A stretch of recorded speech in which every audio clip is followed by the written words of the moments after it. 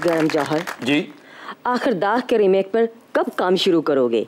ओहो मैं कह दसा गंगू भाई अमिया चक्रवर्ती ते आ जहानी हो गए और मैं हूँ फ़िल्म दे राइट्स ह्यूमन राइट्स वाले को लैसा?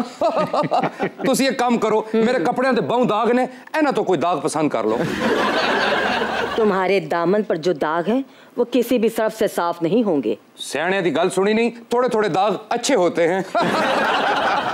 ਦਲੀਪ ਕੁਮਾਰ ਸਾਹਿਬ ਤੇ ਪ੍ਰੋਗਰਾਮ ਕਰਦਾ ਤੂੰ ਬੜਾ ਓਪਰਾ ਲੱਗਦਾ ਹੈ ਅਹ, ਮੇਰੇ ਕਹਿਣ ਦਾ ਮਤਲਬ ਹੈ ਕਿ ਓਪਰਾ ਵਿਨਫਰੀ ਲੱਗਦਾ ਹੈ बट का दलीप साहब पे बात करना ऐसे ही है जैसे आबद शेर अली जोश मलियाबादी का कलाम सुनाए ਆਏ ਤੇ ਤੁਹਾਡਾ ਵੀ ਦਿਲੀਪ ਕੁਮਾਰ ਦੇ ਉੱਤੇ ਗੱਲ ਕਰਨਾ ਇਸ ਤਰ੍ਹਾਂ ਹੀ ਹੈ ਜਿਵੇਂ ਫੈਸਲ ਵਾਡਾ ਆਈਐਮਐਫ ਦੇ ਨਾਲ ਮੁਜ਼ਾਕਰਾਤ ਕਰੇ ਉਹ ਬਟ ਜੀ ਆਈਐਮਐਫ ਨਾਲ ਜਿਹੜਾ ਮਰਜ਼ੀ ਮੁਜ਼ਾਕਰਾਤ ਕਰੇ ਰਿਜ਼ਲਟ ਉਹ ਹੀ ਨਿਕਲ ਸੀ ਆ ਮਾੜੇ ਸਕ੍ਰਿਪਟ ਮੇਰੇ ਕੋਲ ਇਤਨੇ ਪਏ ਨੇ ਹਾਏ ਹਾਏ ਹਾਏ ਹਾਏ ਲੇਕਿਨ ਦਲੀਪ ਪਾਪਾ ਦੁਨੀਆ ਤੋਂ ਸੁਧਾਰ ਗਏ ਨੇ। ਮਾਰੀਆਂ ਕਹਾਣੀਆਂ ਕਾੜੀ ਰਹਿ ਗਈਆਂ ਦਲੀਪ ਪਾਪਾ ਦਲੀਪ ਸਾਹਿਬ ਨੂੰ ਵੀ ਉਹ ਪੀਰ ਵਧਾਈ ਲੈ ਗਏ अच्छा वाह तो फिर कौन सा स्क्रिप्ट लिखा है ਹਾਏ ਹਾਏ ਹਾਏ ਹਾਏ ਅਗਰ ਦਲੀਪ ਸਾਹਿਬ ਹੁੰਦੇ ਨਾ ਤੇ ਇਸ ਵਕਤ ਉਹਨਾਂ ਨੇ ਮੇਰਾ ਮੱਥਾ ਚੁੰਮ ਲੈਣਾ ਸੀ ਇਸ ਕਿਸਮ ਦਾ ਸਕ੍ਰਿਪਟ ਲਿਖਿਆ ਮੈਂ ਉਹਨਾਂ ਵਾਸਤੇ ਦੀ ਲੈਜੈਂਡ ਆਫ ਜਵਾਰ ਬਾਟਾ